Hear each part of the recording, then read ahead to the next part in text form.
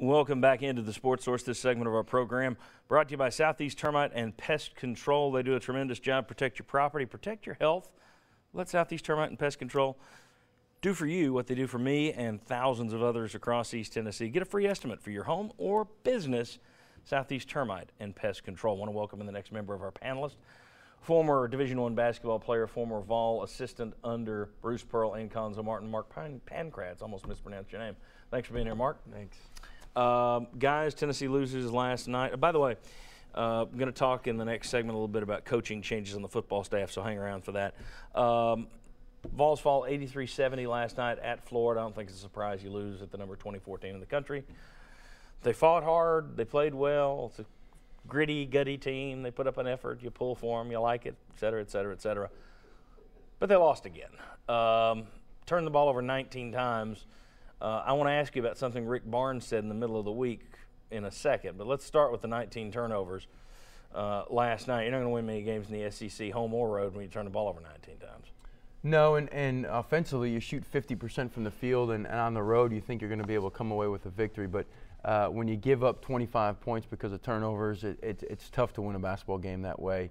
Uh, there were some exciting things. You know, Admiral Schofield plays really, really well. Yeah, big comeback um, night for him. So, but yeah. but the big thing for me, the turnovers, yes, and but defensively, and that's where I think this team's made the biggest improvement. The second half, defensively, they shoot 67% from the field. Uh, that's what, where nine, it derailed. They hit nine shots in a row at one point. Florida yeah. did from the field. Yeah, and some turnovers are tough to defend. But others, it was our ball screen defense. It was uh, staying attached to shooters. Uh, Florida's a good team, but our defensive end uh, is what ended up losing us that ball game. Uh, Mike Strange, I'll start with you, and then we'll get back to Mark on this.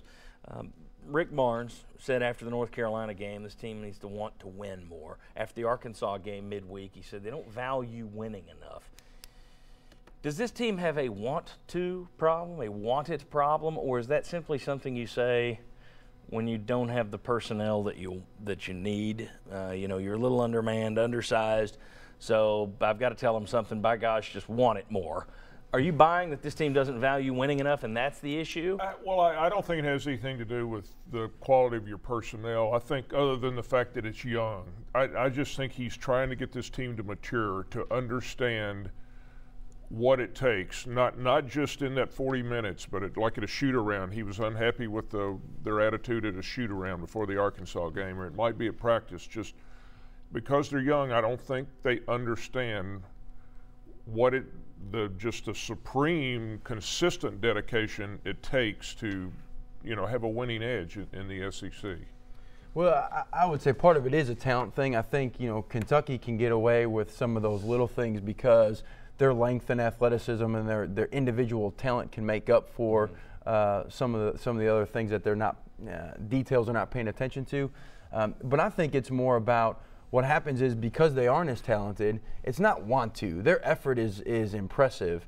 Um, it's their focus, and the focus to win is because they don't have the individual effort they can't miss assignments. They can't over dribble at the end of the game. They can't forget how to run a play. They can't they can't stop moving and get focused in their own individual effort. And that's where it's the learning how to win with the lack of skill and talent as a as an overall team.